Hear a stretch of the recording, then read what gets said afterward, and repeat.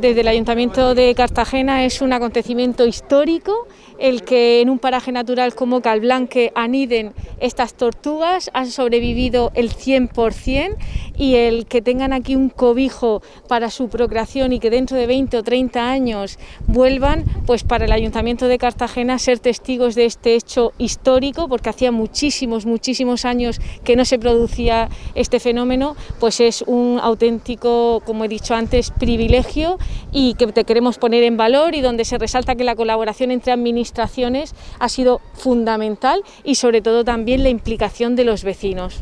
Hace un año aquí, precisamente en el mismo sitio donde estamos, en Cal Arturo, en el Parque Regional de Calblanque, el presidente de la de Vecinos de Cobaticas avisaba sobre la presencia de un huevo, perdón, de un nido con huevos de tortuga ova y eso nos eh, ayudó a que se pusieran en marcha todos los mecanismos que tiene la Administración Regional para verificar si eso era así, por supuesto, pues también para poder activar el protocolo con el objetivo de que se pudiera, eh, de que fueran exitosos lo que es la eclosión de esos huevos. Durante un año esas 21 tortugas, 10 de ellas han estado en el Centro de Investigación de, de Limida, situado en San Pedro del Pinatar, y 11 han estado en el oceanográfico. Hoy vamos a soltar las 10 primeras aquí. El objetivo era que se pudieran criar en cautividad, que pudieran alcanzar el tamaño mínimo que eh, minimizara los riesgos de poder ser depredadas o poder ser, eh, algún tipo de problema con depredadores y bueno, pues alcanzado ese tamaño mínimo, pues procederemos a la suelta de las mismas. Las 21 tortugas que se van a soltar, tanto ahora como las que se estarán posteriormente, llevan todas un chip incluido